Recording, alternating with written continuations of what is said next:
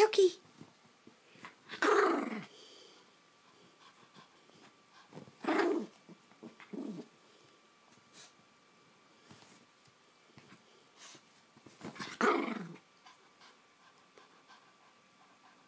It's my yarn.